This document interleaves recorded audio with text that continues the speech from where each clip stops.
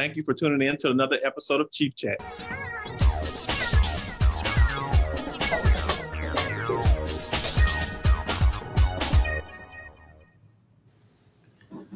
What is up, my exchange family from all over the world? And thank you for tuning in to another episode of Chief Chat. My name is Chief Master Sergeant Kevin Osby, and I'm your senior enlisted advisor for the Army and Air Force Exchange Service. Before we get started with our guest today, I would like to introduce my lovely co-hosts, Kiana Holloman and Emily Zarsk. How y'all doing, ladies? Hey, Chief. Hey, Emily. Hi. So, Kiana, I hear today's guest you are very, very, very familiar with. I am. So, our guest today was actually my college classmate. So, super, super excited to kind of speak with today's guest. Oh yeah, absolutely. So let's let's get it started. Let's go. Yeah, so today's guest is also an accomplished actor, having starred alongside Bruce Willis in A Day to Die. He also played the role of Bell on Tyler Perry's drama Ruthless, and he's here today to discuss his role on the new BET Plus hit series Kingdom Business. Please give a warm Chief Chat welcome to Aspen Kennedy Wilson. Hey, thank you. thank you so much. Hey, so Aspen, it's a pleasure to have you with us today. Can you let our viewers know where you're coming from? Yeah, I'm actually here in Atlanta, Georgia, at home right now. So, uh, in the house. ATL, okay. Yes, sir. And so we're so excited to chat with you today. Um, and I'm also from Georgia, but I'm from Savannah. But you know, okay. same state. Yay! I actually visited Savannah for the first time, like uh, in December, so it was pretty fun. Great food too. So. It's a beautiful, yeah, it's a beautiful city. Um, so, and I'm glad you went, but I need to get back there actually. Um, right. But before we dive into the discussion on your current role in Kingdom Business, how did mm-hmm. you get your start in acting? It's so funny because actually uh, at JSU with Kiana, um, I actually uh, took a course, advanced acting, and um, I needed an art elective, but I didn't want to take music appreciation or art appreciation. So I was like, you know what, I guess I'll take acting. But when I took it, I felt like that was the first like class. It didn't feel like work or I didn't dread going to class. I love school, but like that was the one that I felt like, you know, I wish I could come to this class every day. And uh, at that time, my professor was also a working actor. So like he was like, hey man, like if this is something you want to do, you should really take it serious because you have like that it factor. So like I'm just grateful for him having that influence to say, hey, like, you know, if this is something you want to do, definitely follow it. And from there, I graduated 2017, and we actually ended up working on the same episode on Queen Sugar. So he was like, he was just my student two years ago, and now we're on the same TV show. So it was truly uh, like a, you know, point poignant moment, so to speak. Yeah. No, so what was, your, so what was your major? Yeah, no, I got I got a question. What, so what was your original major? uh, communications. Communications. Okay. Mass comm. Yeah with a minor in marketing. So that was it. no, yeah. Flash forward, what five years later, and now your yeah. latest series, Kingdom Business, is getting a lot of love. Fans are so obsessed yeah. with the storylines, including your relationship with uh, Serayah's character Rebel. So yes. Zion is a different character than fans are used to seeing you play. How did you prepare mm-hmm. to play this role? just truly um sitting with the circumstances because uh of course you know I have a girlfriend but like we don't argue like you know Zion and Rebel you know have their uh, get right. at it but uh just truly just you know uh, observing the circumstances and just knowing the story uh, the story was well written so it was easy to just live in that world and just uh, just truly enjoy the ride and especially Serayah too she was great chemistry easy to work with and we just you know showed up to work and have fun. So, so you mentioned all these. Uh, well, just knowing on, on this cast, man, you got some heavy hitters on the yeah. cast. You got, uh, you, you know, you, you got amazing music, musical performance by the incomparable uh, Yolanda Adams. Uh, oh yeah, man, what's it like collaborating with all these heavy hitters? Yolanda, Serayah, Michael Beach, Michael Jai White, and Kirk Franklin. Yeah, that sounds, that sounds like a Sunday so service that I, I want to be a part of too yo, I'm telling you, it was some days I was not on set. I knew that they had like some of the singing scenes. I was like, yo, I just got to go, you know, because we had to get COVID tested out too. So like, I was like, let me go get tested, go get some breakfast from set, and I actually kind of sit in and get this little quick worship real quick. But um, nah, everybody was so down to earth, man. Especially like just growing up listening to Yolanda, Kirk, and just seeing their work, especially Michael Jai White too, and Michael Beach from Soul Food. So it was just like a moment where you see these people growing up, and now it's like they're introducing themselves to you, like, hey, like we're glad we're here together. So it was truly like a you know a God appointed moment where I'm just truly grateful for it. And I told the producers, I'm like, all right, just for season two, just in case, I'm taking singing lessons because uh you know everybody on this thing they rocking it out. So I was like, all right, I'm gonna be ready for next season. Hey, but how, how's how's your singing your vocal cords right now? How how? Now, we're not gonna do. We're not gonna make you sing right now. But uh, let me go get the mic real quick. nah, it's cool. You know, I feel like I got that. You know, the cool, chill voice. You know, like maybe where Drake started off when he was singing, because you know, he, he, yeah, he's a rapper. But um, I think I can carry a tune or just that mellow. But like, I really want to, you know, expand those vocal cords too. So uh, we'll see what happens. And we have an exclusive clip from the show for our viewers, and we are going to take a look at it right now. And I'm super excited. So, what's up with all this, uh, this music y'all supposedly working on? Supposedly. I mean, no, we definitely working on something.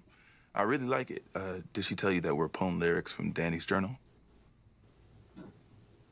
You want to hear? I, I was just about to lay down the piano track. Nah, I'm good, man. You know, thing I'm wondering is, um, how you fit in? I love it. Ooh, right. Thank you. So Thank I got a chance to watch. All of us have seen all eight episodes. Aspen. We subscribe to BET Plus. It's an awesome, awesome show. For those of you who haven't seen it, episode one is going to leave you wanting more, like straight up. Oh, so, yeah. what can viewers who haven't seen the episodes just yet? What can they expect from this season, but also from your character? Uh, truly, um, I feel like it's an ever unfolding story of redemption because you uh, you get more into the lives of each character. Um, there are definitely moments you laugh, you could cry, you could like you know you scream at the TV like what in the world is going on? Because uh, actually, so many people uh, reached out. They were like, "All right, so tell me. I won't tell nobody. Like what happens at the end of episode eight? I'm like, honestly, I don't even know because the script says exactly what happens. Like we see that. And like so, I'm like they even they even left us with a lot of plot twists as well. So like, I'm excited to um, you know see what happens season two as well. So you know, as you're going through uh watching the season one, right, and you get to episode mm-hmm. eight, it's got a bunch of twists, turns, plot, cliffhangers. Man. You know, without without giving away anything. So, it, all my viewers, please go watch uh watch, watch Kingdom Business. Yeah, go watch yeah. it. Uh, but what message do you think would you like the viewers to take away from the show? Just truly, uh, aside from its entertainment value, like God is He's sovereign, and like as you can see in the show, and you know in real life for certain circumstances, like he will come rescue you from any situation, wherever you may be in your life journey, and it's just it just shows his love for humanity. So it's it's really cool to see that in the entertainment world as well as uh, you know just impactful stories too. Because you know I feel, I feel like audiences they like to you know follow characters and go on the story, but they also like to see themselves on the screen too. So just to see like hey, I was here and God brought me here is just that that um that welcoming invitation of like you're being entertained as well, but you've been reminded of God's love for you. So it's truly powerful, man. And Aspen, service members of our armed forces um, and their families are watching all over the world right now. What would you like to say to them today? Truly, just thank you so much for being courageous. Thank you for being strong. And, like, especially during the times we live in now, like, it's so much going on where we can just be afraid by, like, default. But just thank you for your, your courageousness and your strength because we all need it. Uh, love is needed uh, more than ever. I feel like now, and just to have you know the soldiers and the military at the forefront of just protecting our country as a uni- unified body is like it's an amazing thing that we all need uh, individually as well as on the forefront. So thank you so much for your courageousness for sure. Yes, and we have some fans tuned in as well. Um, Columbus wants to know more about Kingdom Business. So, Aspen, if you could describe the show in your own words, what is Kingdom Business about? Yeah, so uh, it definitely it's a music-driven uh, scripted drama series that takes viewers, you know, into the world behind the scenes of the gospel music industry and its many like complexities. I mean, you have conflict, you have money, fame, relationships, all with the battle of faith or the balance of faith thereof. Um, so a lot of people I see fans on Twitter they compare it to like, oh, it's like an Empire meets, you know, P Valley meets Greenleaf, but uh, I truly feel like it's a it's a story, you know, of its own kind. So uh, those are definitely great shows as well. I, I enjoy those shows, but uh, this one is definitely uh, it's one of it's, it's one of his first. And I guess another question is when it comes to your relationship, Zion's relationship with Rebel, I guess how would you describe that relationship dynamic? Because I guess as a viewer, um, from the outside looking in, it's like, yeah, dang, you are not supportive. right, what right. is going on? for real, for real.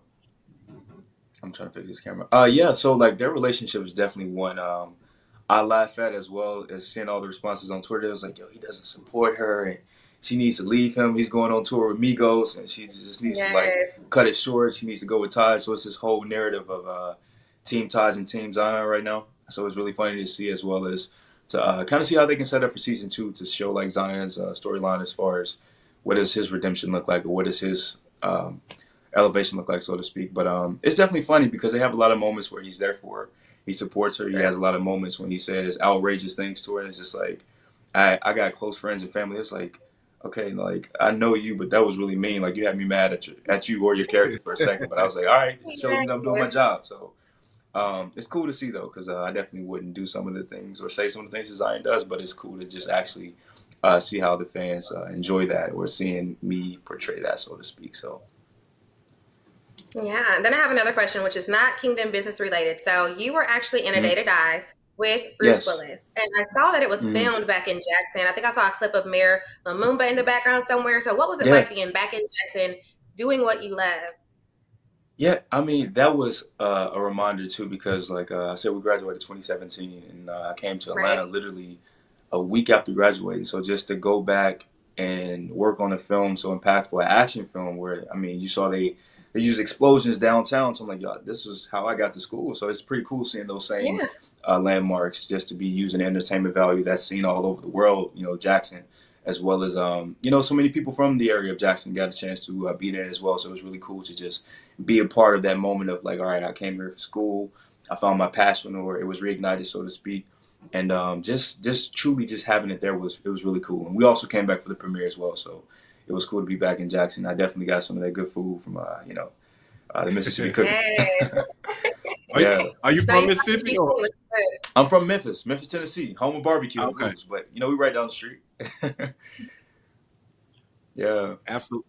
So, so you you are building an impressive acting portfolio, right? And so, um, now who, who's your who's your goats of, of acting? So, or let me ask, who's your ghost of acting? And then, if you could star along any actor or actress in the industry, mm. who hmm. would it be and why?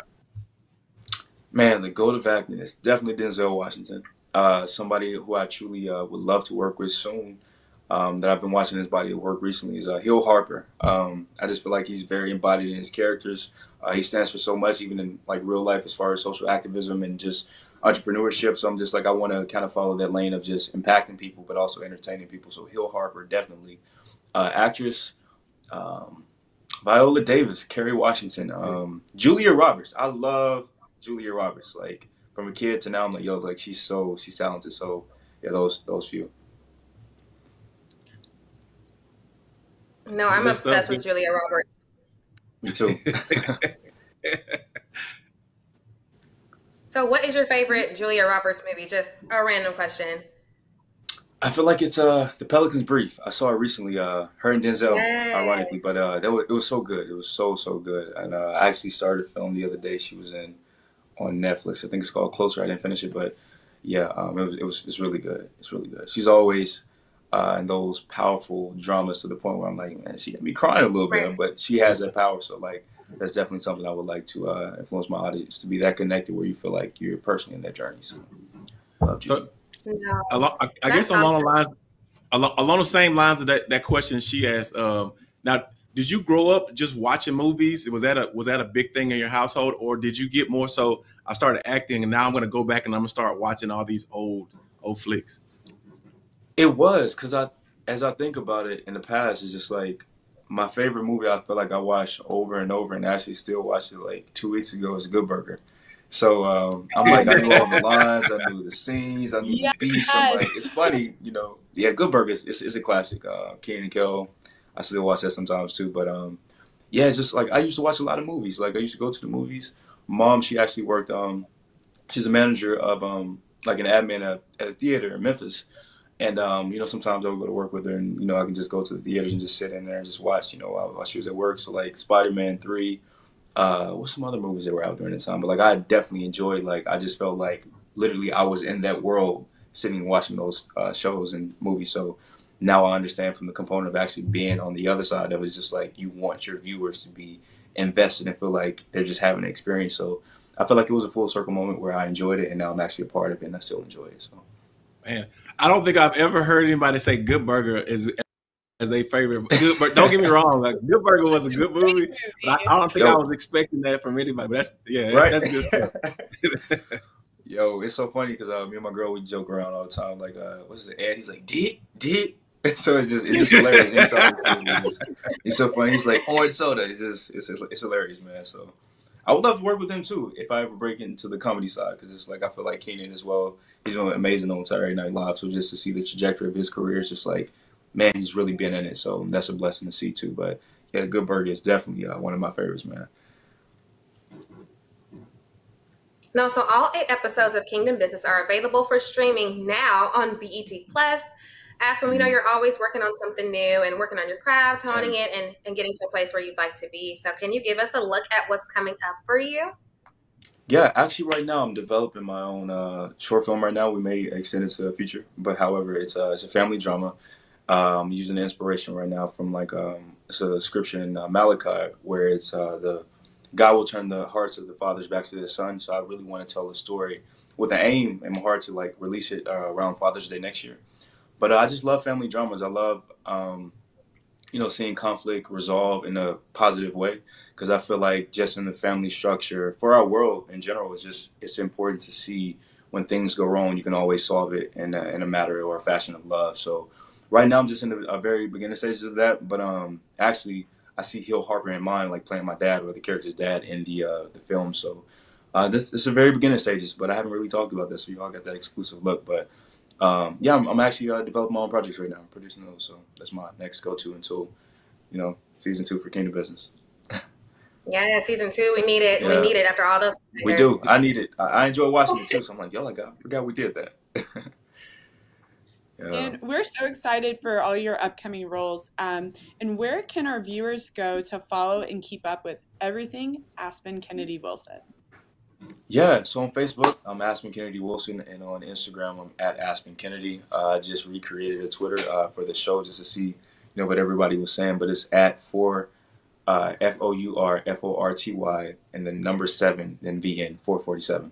That's the time I was born, so um, yeah, it's pretty cool the story behind that. But yeah, at Aspen Kennedy on uh, Instagram, Aspen Kennedy Wilson on Facebook, and at 447 on Twitter. Gotcha. So we we had uh, Chef Andre Rush on uh, last week, uh, and he told mm-hmm. us that he he's personally like answering it, all of his social media. So if you DMing or on Twitter, yeah. So if, if somebody's going back and forth with somebody on Twitter, this this you they go on. They go so. The funny thing about it, it wasn't until like I'm, I'm watching the show. I'm like, all right, you know, they're about to drag Zion for like how he treats his girl. So like I went on there. People were like, uh, he doesn't support her, and I don't even know he's trash and he's annoying. I'm like, all right, y'all, calm. Like he got some moments where he gonna show some love, but I definitely responded to a few of them like in some funny ways. I'm like, all right, so like he told her the entire time to give this to the cops. Did y'all not see this? I was like, okay, we'll give you some props there, but I think it's cool to also engage with uh, the audience and the fans too to show like, hey, we're human as well. But they get to see like, okay, like that was fun, it was a good job, but he's really not that mean guy. But it's cool. It's cool to just you know, because I always see things I would love you know to engage with uh, Julia Roberts for sake for, for for instance. But um, it's pretty cool just to have that platform to be able to connect with people who support you. So it's really fun. So yes, I will respond. well, well, uh, for our Chief Chat viewers, this episode will be available on YouTube and Spotify. You can rewatch with your friends or catch up with past episodes. Also, be sure to join us back here at 11 a.m. Central on June the 2nd to hear from Undersecretary of the Air Force, the Honorable Gina Ortiz Jones, and again on June 7th when we have Grammy-nominated R&B artist Musiq Soulchild to join the chat. Nice. So Aspen, man, so you you out here playing toxic masculinity in, in, in its, Yo, in its purest form. Like this, this, this is future infused entertainment. Future. Like, all right, cool. no, no, he, he, out here, but it's, it's it's funny, man. It's just like um, like I said, just also to see the theories of the audience. Of like, okay, I wonder what's gonna happen with Zion. Like, as you guys saw, like he goes to uh, Vegas at the end of you know season one. So like, what happens in Vegas? I don't know what happens in Vegas, but um, it's gonna be cool to see how it plays out. But uh, yeah, he's definitely uh, promoting it unintentionally toxic masculinity. So it's uh, it's, yeah, it's yeah. funny you called that. no, because the thing i have been watching, and it, you know, I'm, I'm a little older, but I, I still kind of stay because I got kids, and I, I need to make sure I know what's right. going on in the world.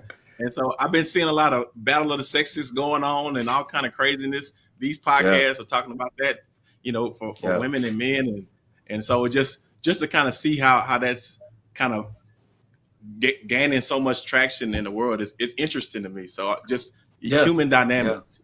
Yeah. Yeah. yeah. So and it's something but, but hopefully, I'm really excited to. I'm sorry. No, I'm saying hopefully we can get you, you know, go from ta- toxic masculinity to your comedy bag, like you you, you hope to get right, comedy. Right, right, right. yeah, sure. yeah, yeah. Man, because um, it's funny just even working with Michael Beach. You see like how his role was so powerful in Soul Food. Like some oh, people yeah. like, yo, he he cheats in every film he's in. I'm like, yeah. okay, well, you don't do uh, Zion or kind of put me in that bag of like being a the guy who's not the good guy. But um, we'll see how it plays out, man.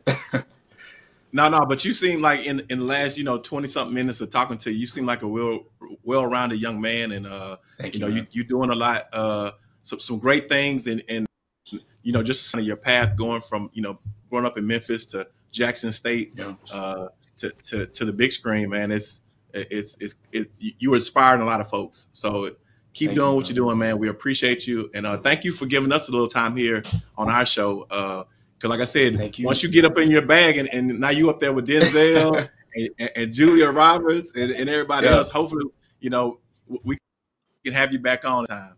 Oh yeah, for sure. Y'all, y'all just gotta make room for me. I'm here, man. That's it. All right. Hopefully, you know, during the time we can all actually get in the studio, live studio, and actually be in the place. But you know, I know it's a different time now. But um, I truly cherish moments just to be able to connect with people. So thank you guys so much. Um, this is fun. Um, truly, thank you. I've been looking forward to it for the last month and a half. So I'm like, I know that's like literally the day after um, Memorial Day, so I've, I've, been ready for it. Okay, awesome, awesome. No, no, if we can, if we can do this live, we're trying to take Chief Chat on the road. So uh, that, has oh, yeah. been our vision yeah. for the longest, and and uh, we, we we're gonna try to get somewhere. And so yeah, definitely we're gonna keep the door open with you. Uh, but we appreciate thank just you, having your time and uh, our, our, nation's uh, military community. We just we appreciate you know what you're doing to to take our mind off of all the craziness that goes on in the world. Give us some entertainment so we can sit back and and get emotional at home or or you know laugh cry and all the other stuff. Yeah. so uh yeah you know what you do matters and, and we can't do this mission thank without you, you, so appreciate you brother. Thank you. Thank you. Thank you guys for sure. For sure. Thank you so much absolutely so if you don't mind hanging on uh so we can kind of say our formal goodbyes to after the live um okay. but uh, we're gonna go ahead and and uh and be out. And we wish you all the best. And uh, Chief Chat out.